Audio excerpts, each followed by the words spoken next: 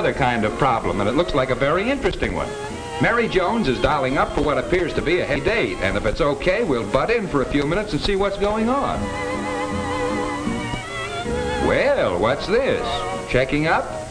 Working from diagrams? Following instructions? Absolutely. Scientific art of beauty. The latest from Loveliness Laboratories.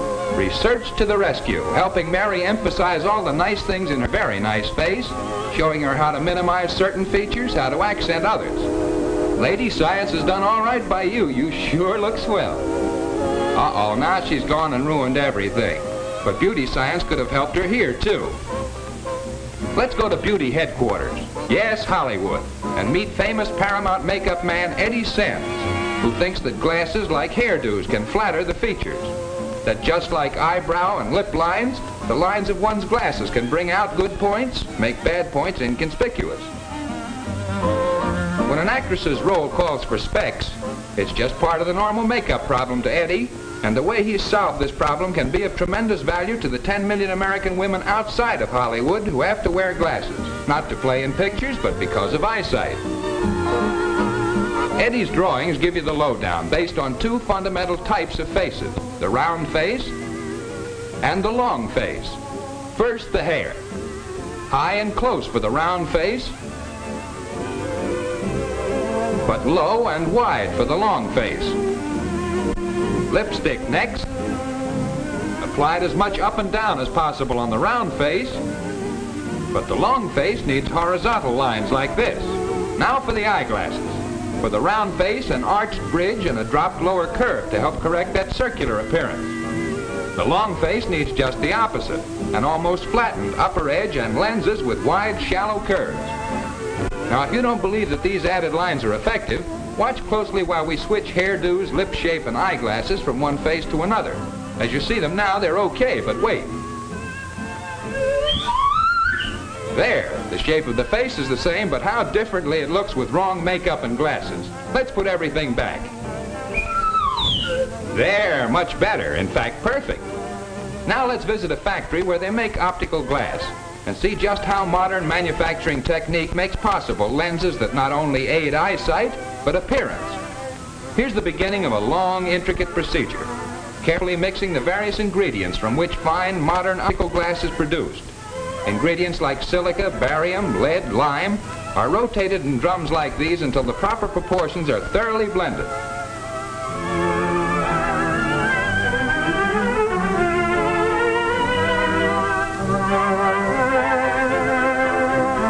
Furnaces in an optical glass factory have to be just the right heat, and they have to be kept at just the right heat as the various basic ingredients become molten. That's why temperature readings are taken frequently with delicate pyrometers. And after 24 hours of cooking and stirring, a miracle occurs. The contents of the special clay pots are now liquid glass, white hot, 2800 degrees Fahrenheit.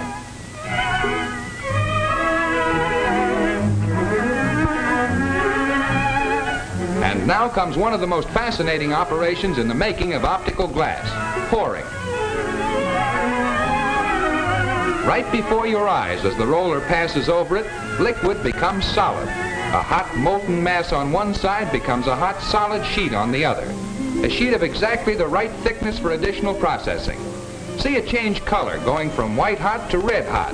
And that's the signal for it to be pushed into the annealing ovens, where it will be cooled gradually to room temperature at which it can be safely handled.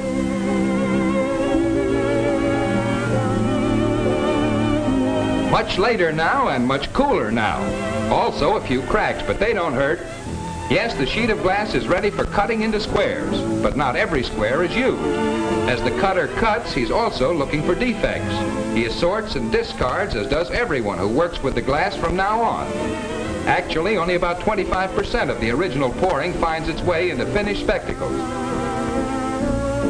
Now reheated and softened, the squares are shaped into approximate lens forms. First, roughly in an oven, then more exactly shaped in a molding press. They're not squares any longer, and they're not called squares now, they're called blanks.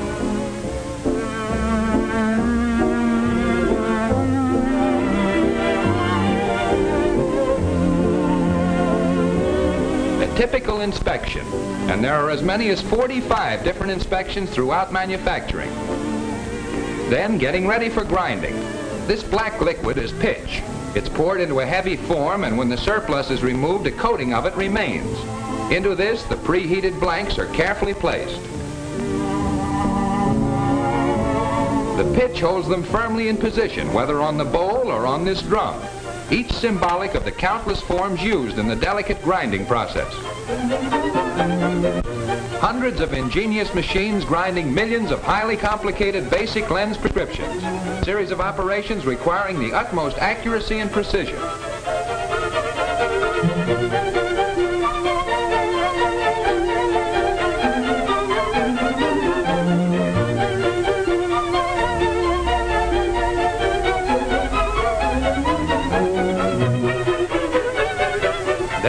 Machines and polishing now until the blanks become as clear as the finest crystal. A bath in a special cleansing solution, and when they emerge from the suds, their official name has changed from blanks to lenses. Yes, they're almost ready for frames. But not quite. Centers of vision have to be carefully marked on each lens, and the proper axis must be determined.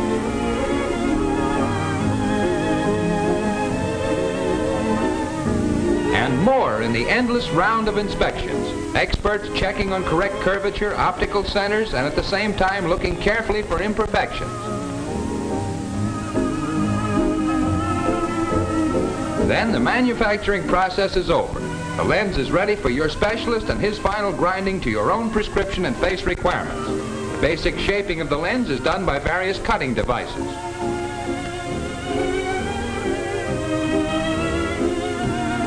The edging is done on an abrasive wheel. Yes, the fundamental round lens can be fashioned into any one of 300 shapes to help the appearance as well as eyesight, which brings us back to Mary Jones. Still don't like your old specs, Mary? Neither do we. Take them off.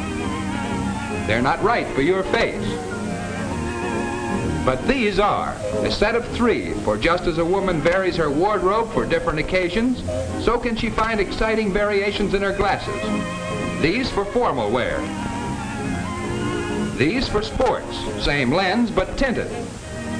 And these for informal day wear, fitting right into the pretty picture that's Mary's face. Yes, science has entered every field of beauty today. No matter what the problem or what type of face we have, advice is available to us. So that in a highly competitive world where appearance counts for so much, each of us can always look his best.